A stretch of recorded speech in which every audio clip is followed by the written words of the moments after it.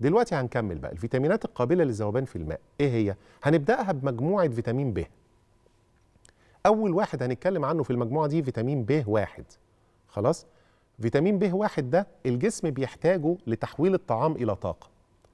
هو كمان ضروري للنمو عند الأطفال والخصوبة عند الكبار بخلاف إنه بيحافظ على صحة القلب وصحة الجهاز العصبي. ب واحد موجود فين؟ موجود في الخميرة والرز الأسمر والبقول والمكسرات واللحمة الحمراء والحبوب الكاملة والكبدة والكلاوي. الفيتامينات التانية من مجموعة فيتامينات ب بتساعد على امتصاص ب واحد. هما كلهم كده بيخدموا على بعض. أما العوامل اللي بتمنع امتصاصه فهي الطهي الشديد يعني أي حاجة من العناصر اللي فاتت دي لو الطهي يعني لو كان الطهي أو الطبخ بتاعها جامد قوي يقوم فيتامين ب يخسر أو يفسد يعني ما يبقاش له أثر. التخزين برضو لفترات طويلة الكحول مضادات الحموضة. الله يعني ده في ناس ماشية بمضادات الحموضة دي في الشنط وبياخدوها كده من الإزازة أو يقطعوا الأكياس كده وياخدوها. مضادات الحموضة الكتير طبعا مضادات الحموضة دي الناس بتاخدها ليه؟ عشان الغذاء ال- الغير صحي الأكل المقلي الكتير التدخين الكتير وهكذا الأكل الحراق وهكذا. أهو المضادات الحموضة دي بقى تمنع الجسم من امتصاص فيتامين ب ب واحد. كمان من الحاجات اللي بتمنع امتصاصه الشاي والقهوة. والكرنب الأحمر بالمرة يعني. تمام؟ تاني فيتامين من مجموعة فيتامين ب هو فيتامين ب 2 وده زي. زي فيتامين ب 1 بيساعد برضه على استخراج الطاقة من الطعام وبيساعد على النمو. لكن له أهمية بقى كبيرة جدا في الحفاظ على صحة العينين والشعر والبشرة والأظافر. يعني نصيحة للبنات والسيدات خلوا بالكم قوي من فيتامين ب 2 ده.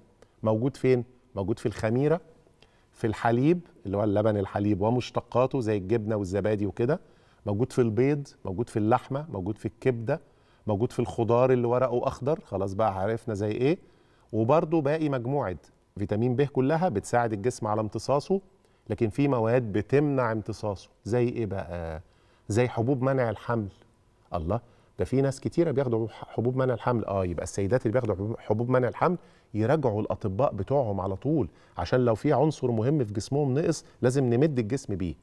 كمان الأدوية المحتوية على الكبريت بتمنع الجسم من امتصاص فيتامين ب 2 وبعض المهدئات وأدوية معالجة الاكتئاب. برضو نصيحة إنه في طبعا في ناس بياخدوا أدوية دي بتاعة الاكتئاب والحاجات دي كلها بشكل دائم فلازم نخلي بالنا إن في عناصر في جسمنا هتتأثر فنخلي بالنا من المراجعة دي ونبقى على اتصال دايما مع الدكتور مش بس بقى الدكتور هنا النفسي في الحالة دي لكن كمان دكتور الأمراض الباطنية. الحرارة العالية كمان بتمنع الجسم من امتصاص فيتامين ب 2 ثالث فيتامين هو ب 3 يبقى اتكلمنا عن ب 1 وب 2 ادي ب 3 عرفتوا بقى يعني إيه ب المركب؟ عشان هو كتير قوي. ب 3 يعني في المجموعة دي هو زيه زي المجموعة دي في في العوامل المساعدة. لكن هو غير بقى إنه بيساعد في استخراج الطاقة زي بي 1 وبي 2 هو بيحافظ عنده وظيفة مهمة قوي بيحافظ على مستوى السكر في الدم.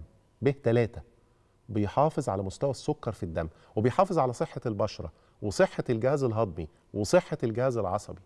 طب موجود فين بقى الفيتامين العظيم ده ب 3 موجود برضو في الخميرة موجود في اللحمة موجود في الفراخ السمك المكسرات الحليب ومشتقاته البيض الخبز بأنواعه الرز والمكرونة والبطاطس. اللي بيزود امتصاص ب 3 باقي فيتامينات ب كلها ويعني وتحديدا ب 6 وفيتامين سي بقى لو كتر عن اللازم في الجسم يقوم يمنع امتصاصه. هو والكحول والأدوية المحتوية على الكبريت. وكمان لما الطعام بيدخل في عملية تصنيعية يعني لما مثلا ناكل آه، أنواع من الأغذية مصنعة يعني اللي هي دخل في عملية تصنيع لا خلاص يبقى الفيتامين ب 3 ده بي- بيتسرب ولا كأن له وجود في الأغذية. الفيتامين اللي بعد كده فيتامين ب 5 تمام؟ وظايفه زي اللي فاتوا لكن ب 5 بيزيد عليهم في وظيفة مهمة جدا.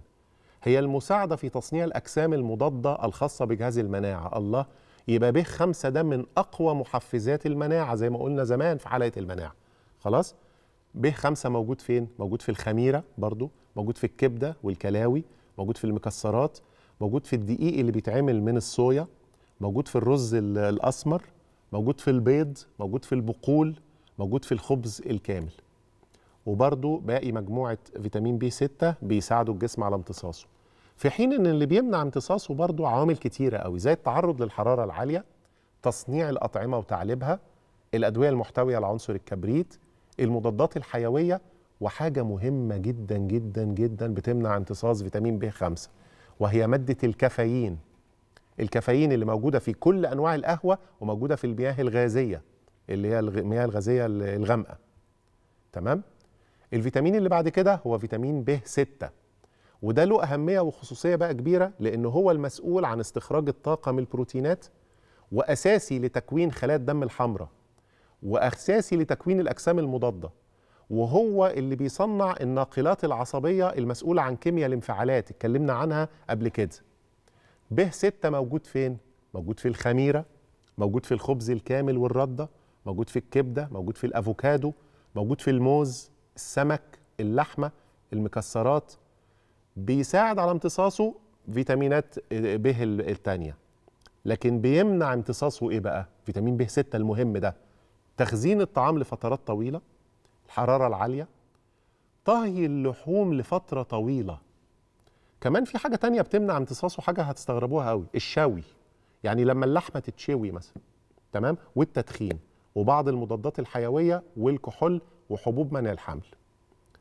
أما الفيتامين قبل الأخير في مجموعة ب المركب هو فيتامين ب 12 وفيتامين ب 12 ده برضه له خصوصية كبيرة جدا لأنه من ناحية الوظائف بيعمل كل الوظائف بتاعة فيتامين ب اللي هو كل الأنواع لكنه بيساهم في تكوين وتجديد خلايا الدم الحمراء.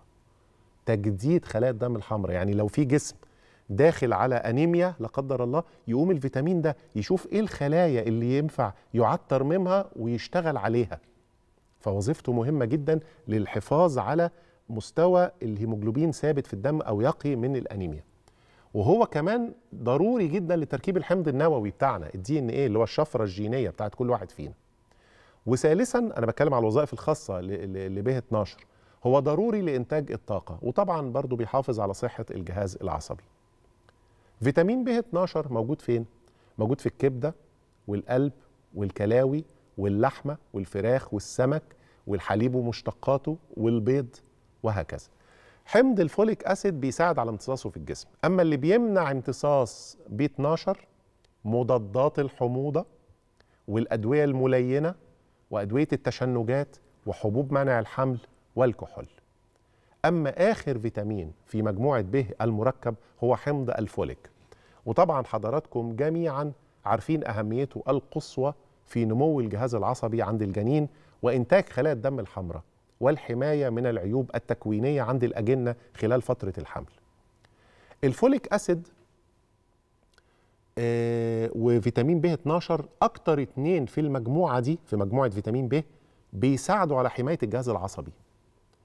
حمض الفوليك بقى موجود فين؟ عشان الناس كلها فاكرة إن ال folic acid ده لازم يبقى اقراص، لا حمض الفوليك ده أو ال folic acid موجود فين؟ موجود في الخميرة، موجود في الكبدة، موجود في الخضروات اللي ليها أوراق خضراء زي ما قلنا بقى البروكلي والسبانخ والسلق والكرنب وهكذا. موجود كمان في البقول والشوفان والمكسرات. باقي مجموعة فيتامين ب يعني وفيتامين يعني باقي المجموعة وفيتامين C بيساعدوا الجسم على امتصاص ال folic acid. طيب إيه اللي بيمنع امتصاصه؟ يلا بقى ناخد المفاجآت. المسكنات.